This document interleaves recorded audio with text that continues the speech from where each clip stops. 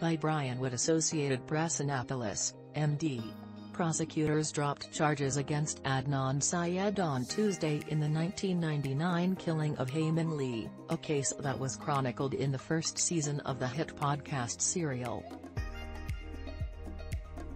Emily Witty, a spokeswoman for the City of Baltimore State's Attorney's Office, said in an email that her office had dropped its case against Syed and would release further details about its decision later Tuesday.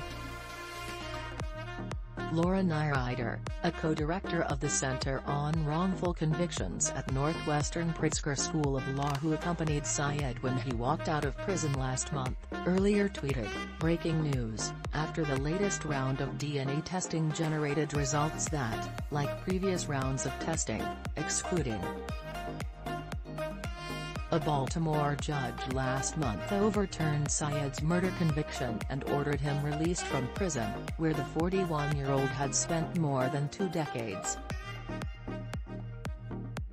Circuit Judge Melissa Phinn also gave prosecutors 30 days in which to decide whether to retry Syed or drop the charges. Phinn ruled that the state had violated its legal obligation to share evidence that could have bolstered Syed's defense.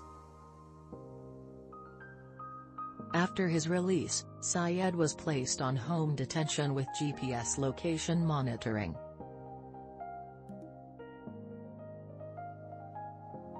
Syed has maintained his innocence for decades and captured the attention of millions in 2014 when the debut season of Serial focused on the case and raised doubts about some of the evidence, including cell phone tower data. Prosecutors have previously said that a reinvestigation of the case revealed evidence regarding the possible involvement of two alternate suspects. The two suspects may have been involved individually or together, the state's attorney's office said. One of the suspects had threatened Lee, saying he would make her, Ms. Lee, disappear. He would kill her, according to a court filing.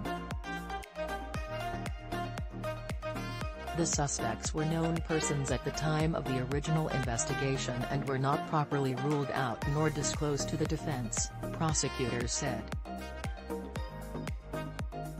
Prosecutors also said new information revealed that one of the suspects was convicted of attacking a woman in her vehicle, and that one of the suspects was convicted of engaging in serial rape and sexual assault. Prosecutors also noted unreliable cell phone data used during Syed's court case to corroborate his whereabouts on the day of the crime.